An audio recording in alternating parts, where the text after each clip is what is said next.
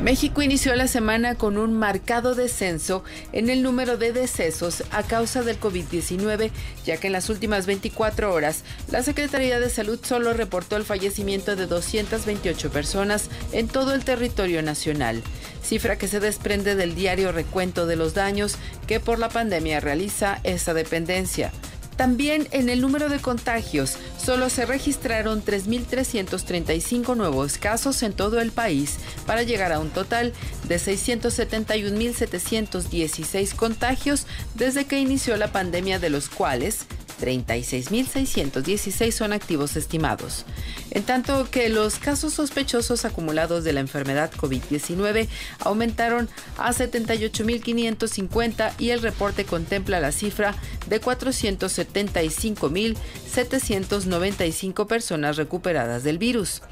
Por otra parte, Eli Lilly Company dijo hoy que su fármaco para la artritis reumatoide, baricitinib, ayudó a reducir el tiempo de recuperación de COVID-19 en pacientes hospitalizados en un ensayo clínico cuando se tomó en combinación con el antiviral Remdesivir de Gilead Sciences Inc. El fabricante de medicamentos de Estados Unidos dijo que el compuesto vendido bajo la marca Olumiant cumplió el objetivo principal de acortar la recuperación al utilizarlo en combinación con el Remdesivir de Gilead en comparación con el uso de este último fármaco en solitario,